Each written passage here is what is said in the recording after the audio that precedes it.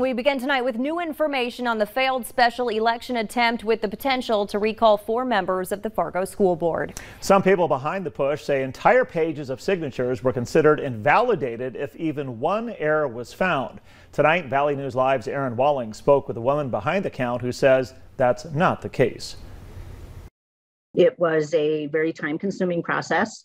Um, and we did take it very seriously. A review performed by the business manager for the Fargo Public School District has found some of the signatures collected in support of the recall are invalid.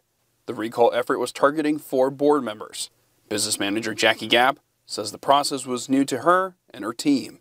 It was a uh, interesting process to learn, um, to go through, but we did again just we relied on what the law states and making sure that we were compliant with what was expected of us during this process.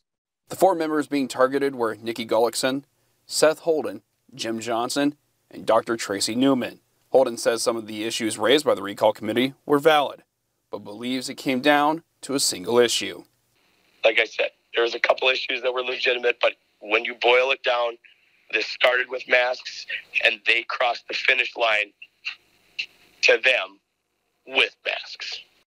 Under state law, signatures can be invalidated for a number of discrepancies, and GAP cited several issues, including inadequate signature, out of district address, address missing both city and zip code, no date, and address omissions. We are glad uh, that we completed it and did it within the time frame that we needed to, and um, we will just move forward. In Fargo, Aaron Walling, Valley News Live.